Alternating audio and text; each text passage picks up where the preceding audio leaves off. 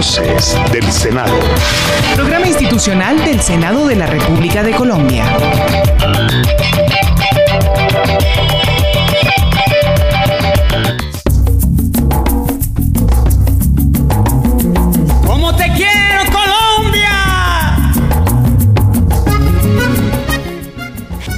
Se siente un ambiente de felicidad, un ambiente diferente que definitivamente irradia alegría. Debe ser porque estamos orgullosos de ser colombianos, de nuestra selección Colombia, de los avances que como país hemos tenido y hay que decirlo, se siente un ambiente de paz. Y con esta armonía que compartimos con ustedes, quiero desearles una feliz mañana para cada una de las personas que se conectan con Voces del Senado a esta hora de la mañana. Feliz domingo para ti también, Sandra. Muchísimas bendiciones para ti, Maritza, y me uno a ese mensaje de compañerismo colombiano, deseándoles que esta mañana estén en compañía de sus seres queridos con un buen desayuno típico de nuestras regiones y sobre todo compartiendo la buena información legislativa que hemos preparado para ustedes. Sandra, en mi región los Santanderes a esta hora de la mañana pueden estar deleitando un tamal, una changua, una empanada con garbanzo muy light, un trozo de carne oreada con arepa acompañada de un cafecito, un chocolate, una limonada por el calor que hace o una cola y pinto. Y en su región, Sandra, ¿qué pueden estar deleitando a esta hora? A esta hora definitivamente el desayuno es frutica, jugo, algo muy light. Bueno, no, no creo, no creo, no creo que sea muy largo porque es la costa.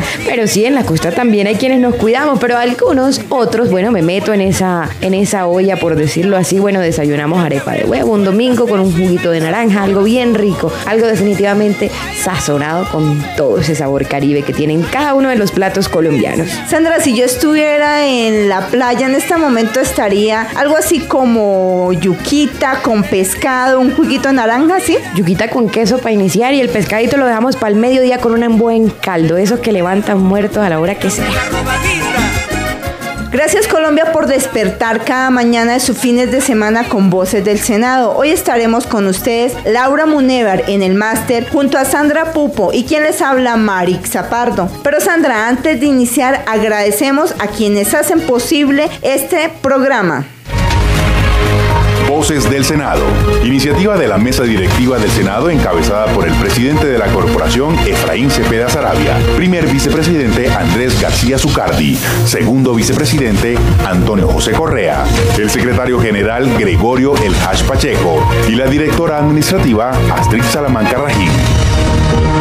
Hoy queremos darle las gracias a las personas que han luchado por representarnos como se debe y por eso queremos decirle gracias a nuestra selección Colombia por tener una participación con altura en esta Copa del Mundo. Y también es hora de iniciar este marranito, ese ahorro que necesitamos para poder asistir a Qatar 2022 porque allá seguro estaremos. Por ahora nuestra participación en Rusia ya terminó. Sandra, debe ser una experiencia espectacular estar en un evento de esta magnitud y así como finalizó el protagonismo de Colombia en el máximo evento del fútbol, también culminó la legislatura 2014-2018 y muchos senadores se despiden de su curul. Por eso hoy queremos hablar con ellos sobre sus iniciativas que marcaron la estadía en el Congreso, así como las experiencias vividas en el Capitolio Nacional. Sandra, ¿con qué congresista iniciamos este homenaje? Con el vicepresidente de la corporación Antonio Correa, quien se ha caracterizado por ser un gran ser humano, por luchar por los derechos de las personas más necesitadas de nuestro país, sobre todo para que tengan servicios de salud dignos y puedan contar con una vivienda propia. Escuchemos la entrevista. Nos acompaña para los micrófonos de voces del Senado el senador Correa.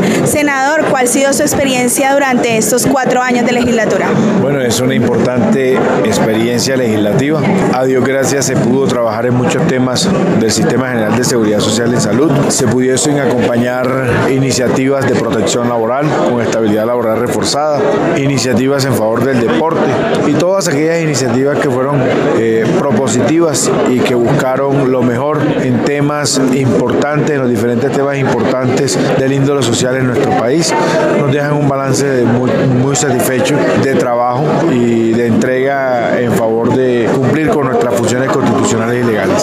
Senador, ¿cuáles fueron los proyectos más importantes que usted presentó? Bueno, tenemos varios proyectos importantes, está el proyecto de ley 90, está el proyecto de ley número 79, está el proyecto de ley de los antibióticos, está el proyecto de ley, hay muchos proyectos de ley, pero hoy queremos enfatizar de que no solamente como autor, sino como ponente, como coordinador ponente, acompañamos diversos proyectos de ley que fueron, colocaron granitos de arena en bienestar del país. Senador, ¿qué mensaje le manda a los nuevos congresistas que vienen? Hombre, les deseo lo mejor del mundo, que lleguen al templo de la democracia a representar uno de los poderes de la rama del poder público y por supuesto que se tiene que dar lo mejor de sí para que existan, se siga continuando con el trabajo legislativo que bien merece el país. Voces del Senado. Y siguiendo por la línea de la salud, también se destacó en el Congreso la labor del presidente del Partido Verde, Jorge Iván Ospina, quien recientemente logró la aprobación de la ley que le permite tener honorarios a los médicos residentes. ¿Qué aprendizaje le dejó su paso por el Congreso? La entrevista con Sandra Pupo. Ahora Jorge Iván Ospina, todo un orgullo además dentro de la legislatura con el tema de la medicina, ya un ciclo legislativo digamos que queda atrás. ¿Con qué recuerdo se va del Congreso?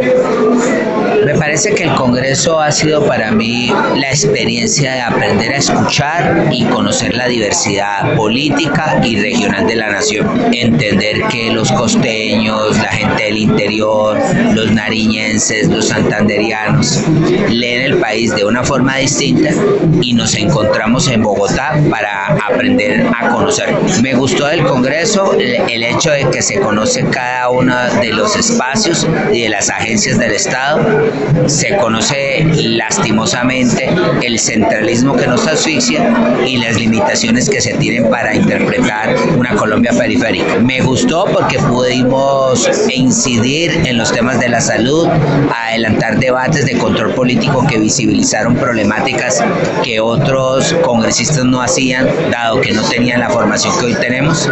Y me gustó que algunas de las leyes que nosotros eh, participamos hoy son ley de la República y hoy sirven, como la de la prima a las empleadas domésticas, como la ley de los residentes que estoy esperando el presidente Lonquete, que son proyectos de la autoría de la Alianza Verde. ¿Con qué proyecto se va orgulloso? Pues con todo lo que es participación de la consolidación del acuerdo de paz. Me parece a mí que haber venido para haber participado y haber apoyado al gobierno Santos en la construcción de un acuerdo de paz es algo que generacionalmente me, me consagro. ¿A dónde podemos ver a Jorge Iván Espina en un futuro? No, yo me voy a los temas locales y regionales. Yo no, no soy un hombre del antiplano, yo soy un hombre de tierra caliente, calentano y necesito nuevamente encontrarme en mi tierra. Síganos en Facebook como Senado Colombia, en Twitter e Instagram como arroba Senado y a través de la aplicación Mi Senado, donde pueden ser veedores de la labor que cumplen los congresistas. Continuando con este homenaje a los senadores que terminan su ciclo como congresistas, le doy paso a mi compañera Laura Monevar, quien conversó con Mario Fernández Alcocer, quien no se presentó en esta consulta electoral por tener aspiraciones locales en el departamento de Sucre. Buenos días, en Voces del Senado nos encontramos con el senador Mario Fernández. Buenos días, un saludo a toda la audiencia que nos escucha en este momento. Senador, cuénteles a los oyentes lo bueno que le dejó esta legislatura. A ver, indiscutiblemente la adquisición de la experiencia aquí en el recinto del Senado, en las comisiones, la posibilidad de entender el país desde diferentes orillas, la posibilidad de presentar iniciativas que beneficiaran especialmente el departamento de Sucre, los debates, eh, la interrelación con la gente del gobierno. En fin, yo creo que la las, enseñanzas son muchas. El provecho que le hemos sacado al tiempo aquí en este recinto creo que ha sido fructífero. Bueno, creo que al final el balance resulta totalmente a favor de los que creyeron a mí para que yo llegara al Senado de la República. ¿Qué proyectos le dejó a su departamento, a su región? Nosotros hicimos muchas cosas por Sucre, tramitamos proyectos ante las diferentes entidades del gobierno, ante DPS, ante Coldeportes, ante DNP, logramos unos temas importantes para el Golfo de Morrosquillo, se lograron iniciativas importantes para la región Mojana, el departamento de Sucre. Se logró el reconocimiento de la problemática social de la capital Cincelejo en cuanto al tema del desplazamiento. En fin, cosas no todas se empezaron a materializar, pero muchas de ellas ya están en la retina de, de, la, de los funcionarios del gobierno y esperamos que en los próximos años que hagan parte de la agenda del nuevo presidente de la República. Un mensaje para los nuevos senadores. Primero, una felicitación a todos los que llegan a estrenarse en este cargo, decirles lo que he vivido, que ha sido la mejor experiencia de mi vida este paso por el Congreso de la República en medio de las dificultades, de los cuestionamientos, incluso el poco valor que algunas personas le dan a esta labor. Creo que se puede hacer mucho desde aquí, se puede visibilizar mucho la problemática de nuestra región y volverla parte de la agenda nacional.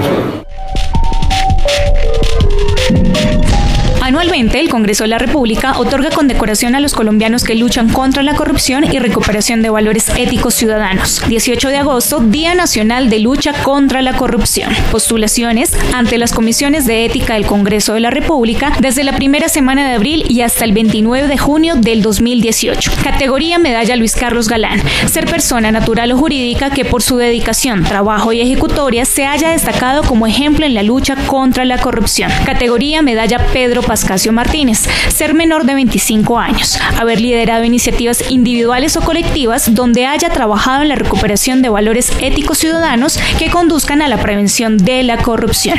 Información a los teléfonos 382-4263 al 382-4235 o al correo comisión de ética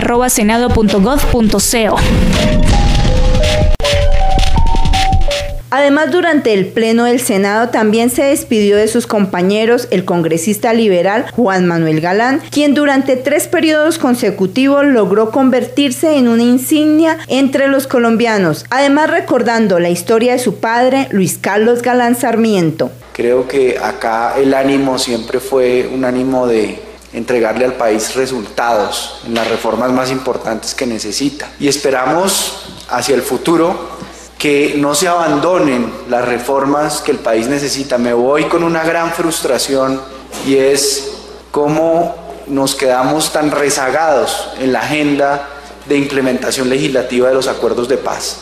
No para cumplirle a las FARC, para cumplirle eventualmente más adelante al ELN, sino para cumplirle a la Colombia más olvidada, más débil, más vulnerable, a la Colombia rural, donde tenemos unos indicadores absolutamente grotescos, absolutamente aberrantes de desigualdad y de injusticia social. 0.9 es el coeficiente de Gini en las zonas rurales de nuestro país. Una mujer campesina tiene cero probabilidades de acceder a una pensión. La mitad de los campesinos que ocupan sus tierras no son poseedores de títulos de propiedad. La calidad de la nutrición, la calidad del saneamiento básico, el acceso a agua potable, a bienes públicos, a carreteras, alcantarillado, a plantas de saneamiento es precario. La presencia del Estado en esas zonas es tremendamente débil y frágil. Y el sentido de la justicia que nosotros debemos defender no es un sentido vengativo, retributivo, de hacer podrir a los enemigos en la cárcel sino realmente de darle a cada quien lo que necesita para vivir con dignidad, las oportunidades que necesita para poder surgir y para poder acceder a lo que muchos colombianos acceden, pero la gran mayoría no puede acceder por esa falta de oportunidades. Me voy con esa frustración, me voy con la frustración de no haber podido votar, por ejemplo, el catastro multipropósito que es el punto de partida para trazar el mapa de la propiedad rural en este país y para poderle cumplir a esa Colombia campesina. Me voy con la frustración de que no pudimos sacar adelante la reforma política. Si este país ha enviado un mensaje en este periodo electoral de marzo, de la primera vuelta y de la segunda vuelta, es que quiere otra manera de hacer política. Está hastiada, repugnada, rechaza la manera como se ha venido desarrollando la política caracterizada profundamente por rasgos clientelistas, no pensando realmente en el interés común, en el interés general, sino en cómo tanto empresarios como otras personas miran a ver quién tiene más capacidad de lobby parlamentario para defender sus exenciones tributarias, para evitar que haya libre competencia. Tenemos una economía plagada de posiciones dominantes, donde no hay libre competencia, donde no hay innovación del Senado. En el Congreso, cada uno de los senadores representa a su región y se especializa en temas de su conocimiento y entero manejo. Por ejemplo, el senador Mauricio Aguilar durante ocho años centró su legislatura en dejar en alto el nombre de los santandereanos, así como destacar a Colombia en la industria turística.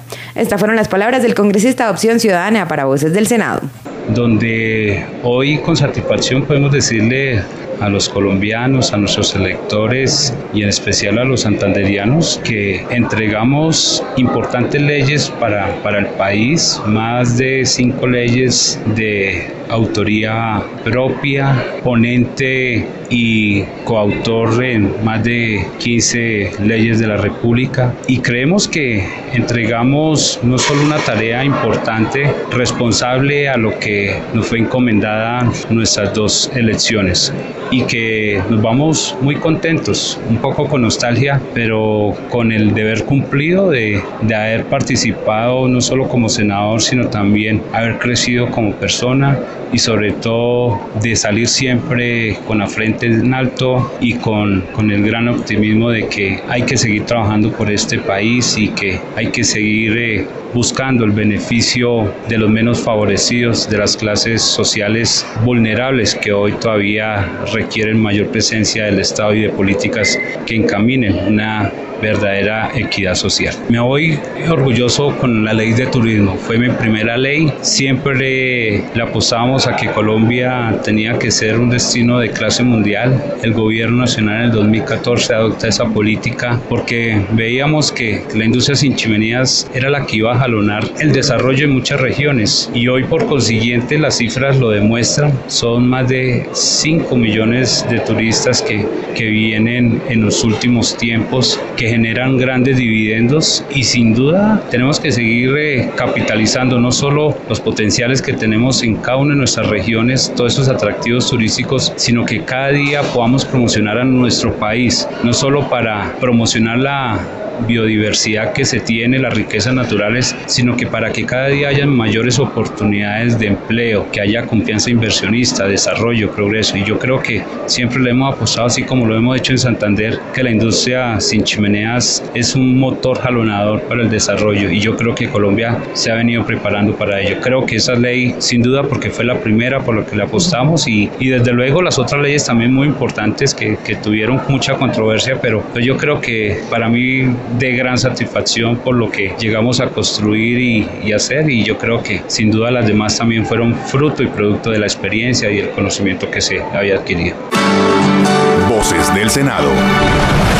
En este cuatrenio legislativo se recalcó un trabajo en favor de la paz y la construcción de un país sin guerra, con grandes retos como el tránsito hacia la etapa del posconflicto y el reconocimiento a las víctimas. En este último ámbito se destacó la senadora de la Comisión Séptima, Sofía Gaviria, quien abanderó la dignificación y reparación de los colombianos afectados por el conflicto. Laura Munevar conversó con la senadora liberal, quien además resaltó otros proyectos proyectos de ley que dieron fruto durante su trámite en el Congreso. Avanzamos mucho sobre en la Comisión Séptima, yo como vicepresidenta, en temas de la ley contra la utilización del asbesto, en temas como acabar con la, el desperdicio de los alimentos, en concordancia con la ley de, con el sistema de seguridad alimentaria, pues que estamos proponiendo la Agencia de Seguridad Alimentaria. Avanzamos oh, eh, tres proyectos importantísimos que fue, fueron la equidad en los salarios para los funcionarios del Congreso, para los funcionarios del Ministerio de Trabajo y para y, la ampliación de la planta de aerocivil que tenía pues muchísimos años de rezago, que es un sector, el, sector del transporte aéreo prioritario para desarrollar verdaderamente pues las,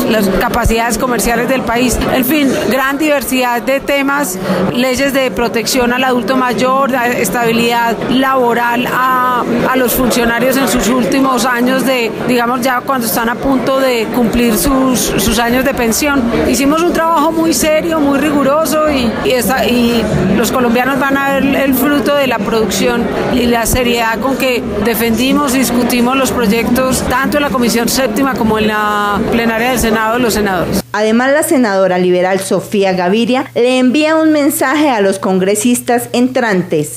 Que trabajen mucho, que estudien mucho y que la curul no les pertenece a ellos, sino a todos los colombianos, no solo los, que lo eligieron. Entonces, mucho rigor a la interpretación y siempre en un ánimo constructivo. Eh, me preocupa ya, digamos, las declaraciones de, los sectores perdedores en una franca disidencia y eh, llamando a la resistencia civil, cuando aquí lo que se tiene es que construir. Muy difícil construir y, y además eso es un oportunismo politiquero. Armar una campaña política desde allá a través de una oposición obtusa, porque si construyen, eh, de pronto no les llega eh, su aspiración al poder. Eso me parece un, eh, un ejercicio absolutamente rechazable. Espero que los colombianos de buena fe no caigan en esa trampa.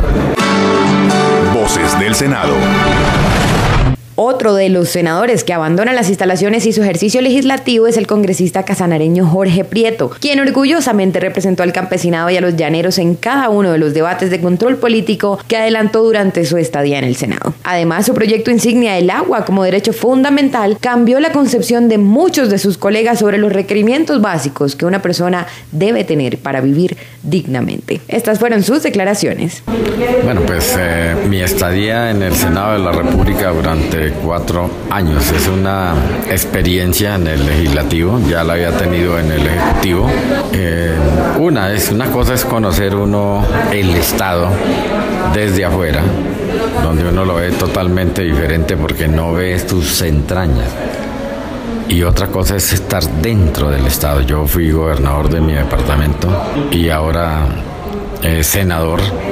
Entonces ve uno lo que es eh, realmente el, Congreso y el Ejecutivo por dentro, que pues es en muchas ocasiones, en otras no, es peor de lo que uno se imagina.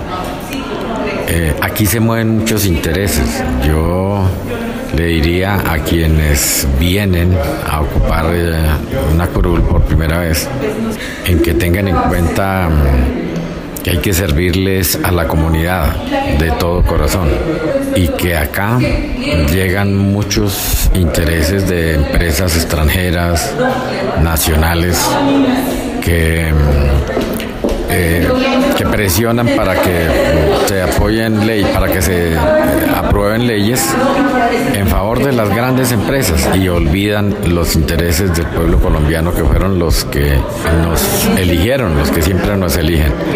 Proyectos como el agua, del cual yo fui no solamente ponente, sino el autor, pues que lo que se busca es proteger el agua, el cambio climático. Eh, el agua como un derecho fundamental. La mayoría, la casi que la totalidad de, los senadores y representantes la respaldaron, pero de ocho debates, después de pasar el séptimo, lo que se dice aquí, la engavetaron con el fin de que pasara el tiempo y no se aprobara. Eso sucedió en dos oportunidades. Y quiero señalar que no hubo apoyo de parte del gobierno o presión de las grandes multinacionales, que son las que dañan las aguas, la actividad minera, la actividad petrolera. A ellos no les interesa que el agua sea un derecho fundamental porque cualquier juez de la República puede decretar eh, proteger ese derecho y, quitar de una eh, los perjuicios que le estén cometiendo a, a las fuentes hídricas. Entonces, eh, ese proyecto yo aconsejaría que lo insistieran. En el resto de países del mundo ya se ha avanzado mucho en ello y es, protegida el agua por encima de, del petróleo y por encima de la minería. Igualmente la agricultura familiar, el futuro del país es el campo, la producción de alimentos y nosotros, apoyándonos en los pequeños y medianos productores, podemos eh, producir alimentos sanos para Colombia y para el mundo y poder eh, dar la oportunidad de unos ingresos a los pequeños y medianos campesinos. Voces del Senado. Durante estos cuatro años vimos variedad de profesiones en el Congreso y no podría faltar la representación de los educadores, quienes contaron con Cenen Niño como su embajador y defensor en cada una de las problemáticas a las que se enfrentaron durante este gobierno. Este y otros temas protagonizaron la legislatura del senador Cenen Niño Avendaño. Bueno, nos acompaña el senador Cenen Niño. Senador, eh, en sus cuatro años de periodo, ¿cuáles fueron sus proyectos más importantes y qué enseñanza le dejó este trabajo? Bueno, fueron muchos los proyectos que presenté en favor de los educadores, en favor de los estudiantes, en favor de los maestros, en favor de los taxistas, en favor del medio ambiente. Y digamos que muy pocos de los proyectos presentados lograron pasar el filtro eh, en el Congreso de la República. Podría señalar unos tres proyectos. Eh, presenté el proyecto de ley por el cual se disminuye del 12 al 4% los aportes para la salud de los pensionados colombianos. Ese pasó, ese triunfó. Otro proyecto de acto legislativo que también pasó, eh, en el segundo debate por unanimidad en el Senado de la República, es, es aquel que establece que el 35% de los ingresos corrientes de la nación deben ir al sistema general de participaciones. Eso, eso tiene que ver con la educación, con la salud, con el agua potable, con los indígenas, con los resguardos, con la nutrición o la alimentación escolar. Es un proyecto de ley muy importante que espero el próximo Congreso de la República lo acoja y lo convierta en reforma constitucional. Pero también presenté otros proyectos de ley, como por ejemplo eh, el proyecto de ley por el cual eh, la mesada de los pensionados se incrementaría ya no con el índice de inflación, sino con el incremento del salario mínimo legal.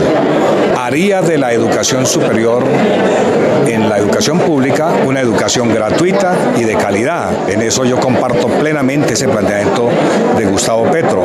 Pero también Iván Duque.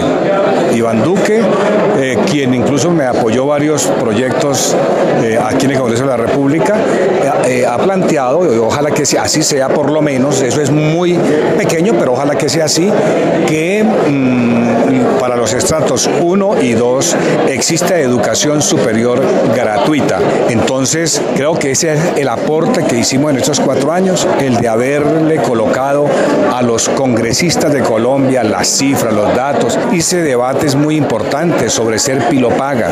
Hice debates contra ese proyecto de ley que es un engendro que se llama financiación contingente al ingreso. Eso es un engendro para, para el derecho a la educación gratuita y de calidad. Entonces, bueno, yo me voy muy satisfecho por mi labor cumplida. Eh, ¿Y qué le puedo decir a los, a los nuevos parlamentarios?